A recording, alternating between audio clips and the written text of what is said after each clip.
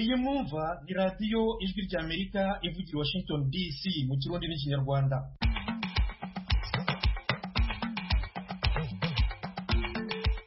Nshuti banywanyi mwabonye gutandukana. Muri kumwe na thomas kamirindi radiyo ijwi ry'amerika ni ku mirongo migufi mu burundi kuri metero makumyabiri n'eshanu mirongo itatu n'imwe na mirongo ine n'imwe naho mu rwanda muradukurikira kuri fm ijana na kane n'ibice bitatu.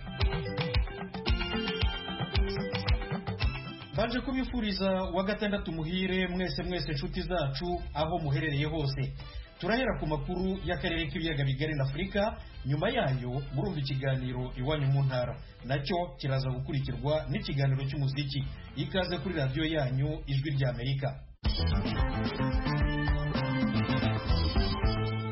perezida wa senegal Macky Sall akaba na perezida w'inama y'abakuru b'ibihugu by'umuryango w'ubumwe bwa afurika ejo yari mu ruzinduko mu burusiya. Yaganiriye na mugenzi we vladimir putin ku bibazo by'ibiribwa intambara yo muri ukraine yateye muri afurika mugenzi wacu venuste nshimiyimana yabajije ambasaderi w'u burundi i moscou edouard bizimana uko bambasaderi ba afurika bahagarariye ibihugu byabo mu burusiya bakiriye uruzinduko rwa perezida Macky Sall. Urugendo rwa Macky Sall ahagarariye ubumwe bwa afurika twabakiriye neza cyane kuko nk'abanyafurika dukorera hano ambasade n'abandi. Turafite ibibazo rwose kubera ibihano abanyaburayi bafatiye uburusiya ibyo na byo natwe bigaca bidufata cyane cyane ko tudashobora koroherezwa mu bikorwa bimwe bimwe kuko uburyo dukoresha amafaranga ava mu bihugu by'iwacu hariya. Amafaranga y'amabursi y'abanyeshuri na yo nyine niyava mugabo urumva ibyo bihano bikandamije amabanki ku buryo atamahera ashobora kuva hariya iwacu mu bihugu bya afurika ngo ashike ino urumva bica bitugora. Natwe tuba nyine dukora. Ubu rero urwo rugendo nibaza ko biba byiza kandi aba ubumwe bwa afurika baraza kubivugana ko n'uburaba no gutwara uburusiya. Uretse ivyo vy'ibiribwa bica bifata ahantu bose muri afurika n'ahandi. Urumva natwe cyane cyane urwo rugendo ruraturaba cyane cyane kuri twebwe tubaye ngaha n'ibyo tuba tubayemo. Ku rundi ruhande naho kuri afurika nibaza ko ari icyiyumviro cyiza icyiyumviro cyiza cyo kuza kugira baganire. Mugabo nibaza cyane cyane igikuru ikibazo ntikiri ino kuko uburusiya ntibweze buhagarika imigenderanire na afurika cyangwa ibyo bahanahana mu bijyanye n'ibifungurwa. Ni ahubwo ni abanyaburayi nibo bazibiye bazibiye imihora kandi mu bushikiranganji araba imigenderanire n'ayandi makungu w'uburusiya yarabonanye n'abambasaderi b'abanyafurika ku itariki mirongo ibiri na zitanu z'ukwezi kwa gatanu. Yaratubwiye ati twebwe nta ngorane dufitaniye namwe ntacyo buza ko tubandanye duhanahana ibidandazwa. Ati mugabo aho bica harugaye kandi twese twugaye urumva rero nibaza ko ino naho nyine barafite uruhara ariko cyane cyane uruhara ruri mu banyaburayi niyo afurikane rero naho nyine yohakorera cyane. Nibaza ko ari byiza kubonana na bose ku buryo aho umwe yoba afise icyo ategerezwa guterera agiterera ari abanyaburayi bakugurura ari abino nabo nabo nyine aho baba barugaye bakugurura. Cyane cyane hariho ikivuko ca odessa cyo muri ukraine. Bunamye numva bavuga cyane cyane ngo bugurure ico ico kivuko kugira ngo ibyo bifungurwa ari ingano n'ibindi biva muri Ukraine bishobore kubandanya bigenda mu bindi bihugu Afurika n'ahandi mugabo urumva abarusiya nabo hariho aho bacisha barafise ibivuko byabo byugawe buguruye ngira ngo bakuguraho bose kandi twebwe kuri Afurika byodufasha cyane twebwe nta ari ari Burusiya ari Burayi cyangwa Amerika nta kibazo dufitaniye iyo ngwano mu bisanzwe nibiraba cyane cyane naho mbona inkurikizi ziko zidufata twese hari gahunda se yaba iteganijwe yo kugira ngo mwebwe muhagarariye ibihugu bya afurika aho ngaho mu burusiya mubonane na perezida Macky Sall ndetse na faki Mahamat umuherekeje aba ni aba ambasade ya senegal hano i moscou bari babitubwiye mugabo icyo gihe babitubwira baravuga bati arashobora kubonana n'abaambasaderi ba afurika bari ino mugabo icyo gihe babitubwira ntibari bwamenye neza gahunda ntibari bwamenye neza porogaramu kuko ntibari bazi ko bizobera. Bazobonanira na mugenzi we w'uburusiya aha mu gisagara cya moscou dusanzwe dukorera abaambasaderi canke bazobonera mu kindi gisagara ubu rero twumvise yuko baratubwiye yuko babonaniye isoci isoci naho ni kure sinzi ngira ngo ko asubira guca i cyangwa azovira sochi agenda. Ariko kugeza ubu ambasade ya senegal ntashobora kutubwira yuko hari uwo mubonano ugikunda kubera aho bahuriye hahindutse. Ariko bavuga bati niyo byabera ngaha mu gisagara cya moscou dukorera twese barashobora kutwakira tukaganira tukamuganirira natwe bitugoye mugabo ngira ubu ko batarabitubarira ngira ngo ntibigikunze. Hari ikibazo wavuze gikomeye gikomereye abahagarara ibihugu byabo aho ngaho mu burusiya bagerwaho n'ingaruka z'ibihano byafatiwe icyo gihugu nko kutabona amafaranga mu buryo bukwiye mukoresha. Hakorwa iki kugira ngo ibyo bihugu byafashe ibyo bihano bimenye ko mwebwe muhagarariye ibihugu byanyu mutarebwa na byo kandi mukomorerwe? Mu bisanzwe bategereza kubona urabona nibaza ko hari ibintu byo kwikunda kwikunda hanyuma no kudaha agaciro abandi bantu ku ruhande rwa rw'ibihugu by'abanyaburaya kuko nabo iyo bariko barakandamiza uburusiya umengo inkurikizi zifata uburusiya gusa. Mugabo nabo nyene barafise ama ambasade yabo ngaha. Nabo nyene nibaza ko bafise ibibazo bisa n'ibyo dufise naho bumvira ngo aho usanga bafite amabanki yabo bakoresha biharize cyangwa bakaba bafite ubundi buryo bwo gushikiriza amafaranga amambasade yabo ariko twese ibihano biradushikira twese. Icyo gihe rero abayitwara abatwara africaine n'ibihugu bya afurika bategerezwa guhaguruka ambasaderi Edouard Bizimana uhagarariye uburundi mu burusiya. Ndabashimiye cyane ku bw'aka kanya mwahaye ijwi ry'amerika murakoze namwe. Mukomeje kumva radiyo ijwi ry'amerika ivugira washington dc mu kirundi n'ikinyarwanda. Turi no kuri interineti wa eshatu akadomo radiyo yacu voa akadomo com. Nyuma y'ayo makuru noneho ni umwanya w'ikiganiro iwanyu mu ntara. Iwanyu mu ntara. Tuyagire mwisanzuye ku ijwi rya amerika. Agatifu n'amaguru ibyumweru nka bitatu bishize kugira ngo bagere inamugongo mbere y'uko uyu munsi ugera. Aba ni bamwe muri bo.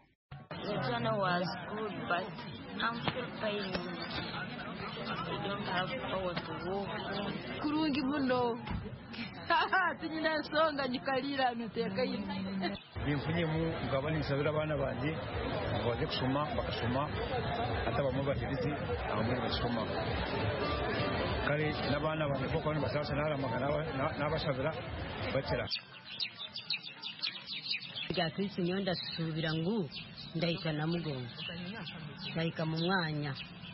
Kristo wewe nka uwandesire tarabasha kunajya being a christian involves suffering. You suffer today and tomorrow you enjoy. Aho bamwe baravuga ko bananiwe ariko bakanagera na mugongo abandi bakumva ko bakize indwara bari barwaye abandi bati iyo bakoze izi ngendo bagasengera imiryango yabo ibyo bakeneye barabibona abandi bati inzira y'ubukristu ni inzira yo kubabara ariko iganisha mu munezero. Abahawe imana bo muri uganda ni abantu barenga mirongo ine. Iyicwa ryabo ryahereye mu igihumbi kimwe magana munani na mirongo umunani na gatanu kugeza mu igihumbi kimwe magana munani na mirongo irindwi. Nyuma y'abamisiyoneri b'abakristo n'abayisilamu kugera muri iki gihugu benshi bakoraga mu ngoro y'umwami wa buganda kabaka mwanga wa kabiri. Nyuma yo kumva ubutumwa bw'ivanjiri babwirijwe n'abamisiyoneri bahisemo kureka imigenzo gakondo yari isanzwe mu bwami icyo gihe ndetse banga kongera gutega amatwi umwami ababwira kudakurikiza iby'amadini y'amahanga yabigishaga. Igihe banze kumva ibyo umwami yababwiraga yategetse abamurindaga kubica babatwitse. Ukurikije ibitabo by'amateka y'inamugongo bazanwaga aha hantu bakuwe mu mpande zitandukanye bakururwa ku migongo yabo. Iyi ni na yo mpamvu aho biciwe hiswe na mugongo biravugwa ko babwirwaga kubanza gukusanya inkwi zo kubatwikisha bakabyemera. Nuko bemera gutwikwa umwe nyuma y'uwundi aho kwamagana ubukristo. Ibi ni by'abayobozi b'amadini bavuga ko ari imbuto zameze mu kwizera gukomeye muri uganda. Musenyeri robert muhirwa wo muri dayosisi ya fort poto mu burengerazuba bwa uganda wakuriye igitambo cya misa bamuvunurira mu ndimi zitandukanye yongeye gusobanura.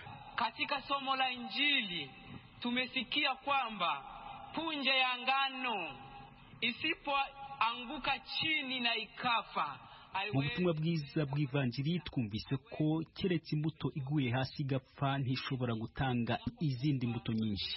Iyaba bahuye imana bo muri uganda batarapfuye bazira ukwemera kwabo ntitwari kuba turi ahangaha uno munsi twizihiza. Izi ni imbuto z'ukwemera kwabo. Nitugaruka mu miryango yacu tugomba kwigana ubutwari bw'abihaye imana ba uganda.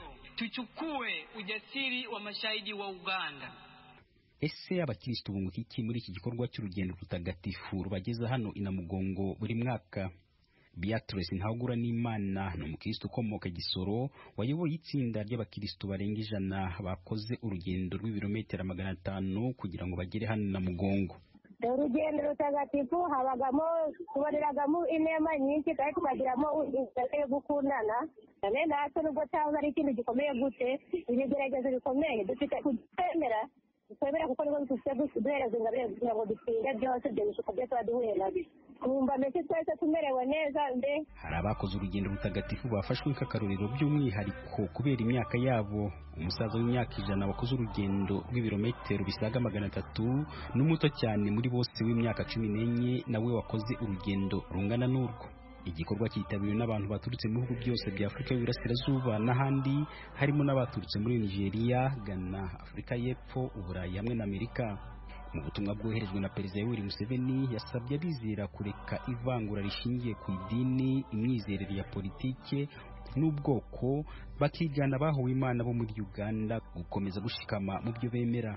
Inzira yo guhindura abamaritiri ba uganda abatagatifu ba kiliziya gatolika yatangiye mu mwaka w'igihumbi kimwe magana cyenda na makumyabiri irangira muri za mirongo itandatu. Ignatius bahize ijwi rya amerika uganda.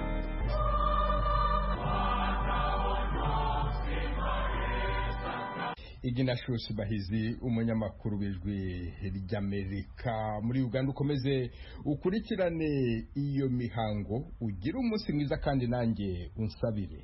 Murakoze cyane bwana venuste kandi ni byo kuko ndaza kugusabira. Washington ijwi rya Amerika. Mukomeje kumva radiyo y'ijwi ry'amerika ivugira washington dc mu kirundi n'ikinyarwanda mu burundi igipolisi kiratangaza ko cyataye muri yombi abantu batandatu. Bateguye kandi bakica umukenyezi w'umurundi kazi wari ufite ubwenegihugu bw'ububirigi. Eugenie ntakirutimana wiciwe muri hoteli yari acumbitsemo mu mujyi wa bujumbura. Mu mpera z'ukwezi kwa cumi n'abiri umwaka ushize umuvugizi wa minisiteri ishinzwe umutekano lieutenant colonel Pierre Nkurikiye aravuga ko abamwambuye ubuzima bari bagamije kumucuza amafaranga. Pierre Nkurikiye. Nibo binjiye bongera barica n'amaboko yabo ujya mu fasoni bongera basiga bamuboshe aba nibo bamwishe n'amaboko yabo bongera baramwambura n'amaboko yabo. Amatohoza yarabandanije. Ku buryo ejo bundi murazi ko twaberetse inkozi z'ikibi ngaha bari bagize iminsi bambura abantu bakoresheje ubwenge mbere bagakoresha n'ibigwanisho harimo n'abajeje umutekano. Ku matohoza yakoze kuri bajya niyo yahavuye yerekana abicanyi b'ukuri bivye babongera barica umupfasoni. Kandi baravyiyemerera Lieutenant Colonel Pierre Nkurikiye umuvugizi wa minisiteri ishinzwe umutekano iyo nkuru. Turakomeza kuyitegura neza turayibageza mu makuru yacu ataha. Mu Burundi kandi leta igiye gutangiza gahunda yo gushyira amasambu hamwe kugira ngo abaturage bahingire hamwe imbuto zimwe kandi basarurire rimwe kandi hamwe. Ikigamijwe ni kongera umusaruro no kwihaza mu biribwa kw'abanyagihugu uwo mugambi bawakira bate? Aho wageragejwe wageze kuki? I kigali mu rwanda ndi kumwe n'umunyamakuru ijwi ry'amerika desire hatungimana. Desire hatungimana wiriweho. Wiriwe veniste iyo gahunda yo guhingira rimwe ahantu hamwe ibintu bimwe leta y'u Burundi yitezeho iki? Leta y'u Burundi yiteze ko byinshi kuko ugiye kuraba mu gihugu cy'u Burundi ni igihugu kiriko kiragira abanyagihugu benshi. Abanyagihugu benshi rero batakigira aho barima bigasaba yuko leta yumvira uburyo bushasha bwotuma abarundi bashira hamwe amatongo yabo bakarimira hamwe bakarima bimwe kugira abajejwe indimo biborohere kubakurikirana kubahereza bya nkenerwa kugira naho hato hahari hashobore kuva umwimbu ukwiriye. Mu ntara ya ngozi rero ni intara imwe igize uburundi muri iyo ntara iri mu ntara kandi zirimwo abanyagihugu benshi cyane.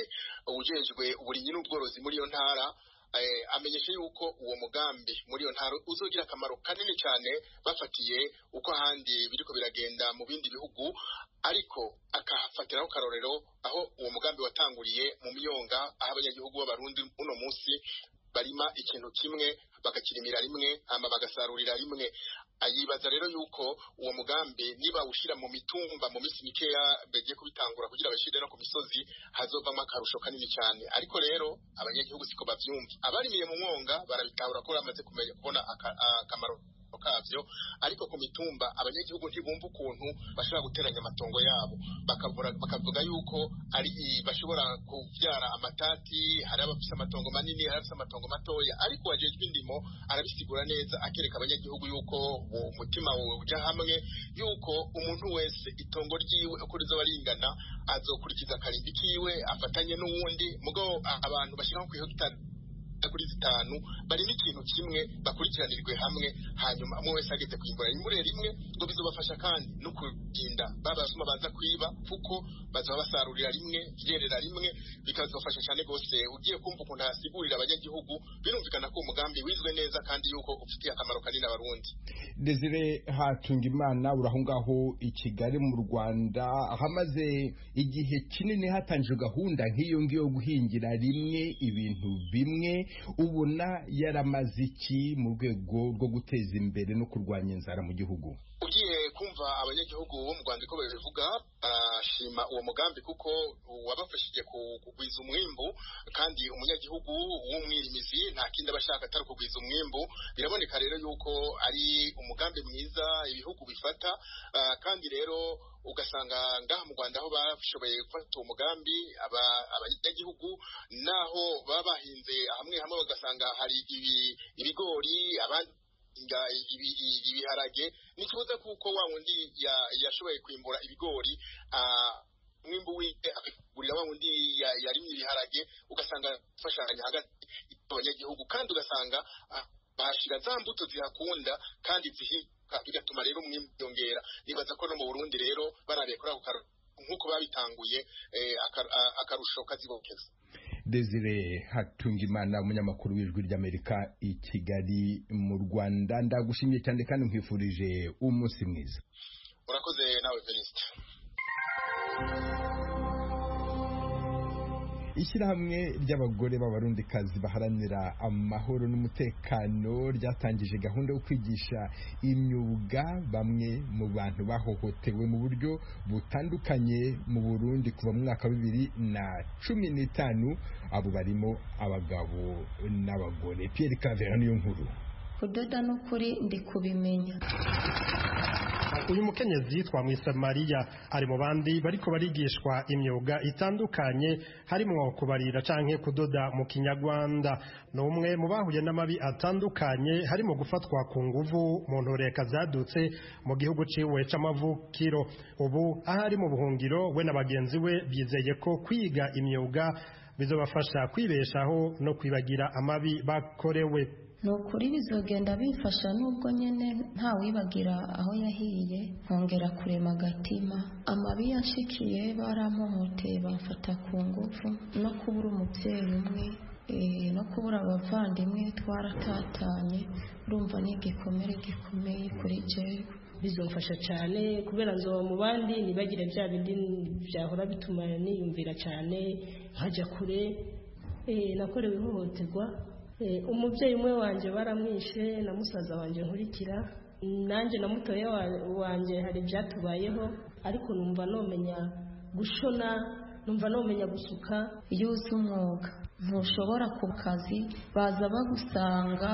Iyo ni na yo ntumbero y'umuhari w'abakenyezi n'abigeme baharanira amahoro n'umutekano mouvement des femmes et la sécurité watunganije izo nyigisho zimaze guhabwa hafi abantu mirongo umunani kuva mu myaka ine iheze nk'uko jean d'arc kazaninyana umuyobozi nshingwabikorwa w'uwo muhari yabibwiye ijwi ry'amerika icyo ni ikintu tudakekeranya kuko hajya iyo umuntu afite icyo akora nibaza yuko yiyumvira cyane cyane ugutera imbere ko ibyamubayeho. Uranababona uno munsi iyo baje ngahanye baratwenga bashobora gusubira ku buzima ayo mahoro n'umutekano ategerezwa guharanirwa n'abarundi bose twese uko turi. Na cyane cyane abo bababaye bazi by'ukuri icyo baharanira. N'abantu bafashwe ku ngufu ari abagabo canke abagore. Hariho muri bimwe twita torture bagakubitwa bagafungwa. Batewe inshinge gushikanya isaha batazi icarimwo abafashwe ku ngufu bakavyara abana babona abana babo nk'uko bo bari abantu b'imicafu. Kubera indwara zivuye ku ngaruka z'ivyo babateye naho biruko bamwe mu bagabo bahuye n'ayo mabi arimwo gufatwa ku nguvu bavuga ko ikizobahoza amarira barize ari ubutungane bwo kubita intare mu gahanga ababibakoreye. Se nakubwira ngo kubyibagira umuntu aribaza bahanwa nande ibikomere bishobora guhera ku mubiri mugabo guhera ku mutima biragoye torture ni ikintu cagutse cyane. Umuntu yavuye aho twavuye kugira ngo abone biheze ni ukubona yuko n'uwamutumye abona ayo mabi nawe yahanywe intaye ikamukubita mu gahanga. Aha umuhari w'abakenyezi uvuga ko ukorana n'abashingwamanza bashikana amadosiye atandukanye mu butungane mpuzamakungu nka sentare mpuzamakungu mpanavyaha CPI haraheze imyaka itanu sentare mpuzamakungu mpanavyaha CPI itanguje amatohoza nyezina kuri ayo mabi yoba yarakozwe mu Burundi. Maître Armen Yongere umuhuzabikorwa mu runani rw'abashingwamanza batwara amadosiye muri iyo sentare amenyesha ko amadosiye arenga ibihumbi bibiri amaze gushikanwa muri CPI uburo bariko bumviriza iyo miryango n'abo bahohotewe ubuzima. N'abandi baza nk'ibyabona nk'abakora mu nzego za leta abo baba barabonye ubwicanyi buriko burakorwa umushikirizamanza ahejeje kwerekana neza yuko ibyaha byakozwe bisanzwe bikurikiranwa n'iyo sentare mpuzamakungu mpanabyaha araheza agashyira ku imitahe y'abakurikiranwa. Benshi ibikorwa barimo rero hariyo bafashwe ku ngufu cyane cyane abakenyezi n'abigeme amadosiye y'ihohoterwa rya kiremwamuntu hariyo amadosiye ajyanywe no kunyuruzwa n'ubwicanyi bukabije. Twabihaye iyo sentare kubera tuzi yuko biri mu byo iyo sentare ishinzwe. Icyo bikoze bamwe mu bakorewe ayo mabi bo babona ko igihe kibaye kinini. Ijwi ry'amerika ryabajije umwe mu bashingwamanza mu biro bijejwe uruhara rw'abakorewe amabi section de la participation des victimes et de réparation muri CPI aho dosiye igeze. Olivier Rando asanzwe ari no mu gisata ca kirimanza gref yatubwiye ko ari banga ariko yemeza ko ibiro vy'umushikizamanza mukuru wa CPI bigejeje kure. Amatohoza azotuma hasohorwa imitahe mpuzamakungu Kigali ku bwijwi ry'Amerika tukivuga ku iterambere ry'abategarugori mu Rwanda hatangijwe kuri wa kane igikorwa cyo kwinjiza abagore mu mwuga wo gutwara amapikipiki moto akoreshwa n'amashanyarazi mu rwego rwo kubateza imbere no kugabanya ibyuka bihumanya. Kigali Asumita Kaboyi ku ikubitiro uyu mushinga witaye ku bagore bari basanzwe bakora imirimo iciriritse ndetse n'abafite ibibazo byihariye. Umuyobozi w'umujyi wa kigali wungirije ushinzwe ubukungu n'imibereho myiza y'abaturage urujeni martine. Yasobanuye ko uyu mushinga uje gufasha abagore bari basanzwe babaho mu buzima bubagoye.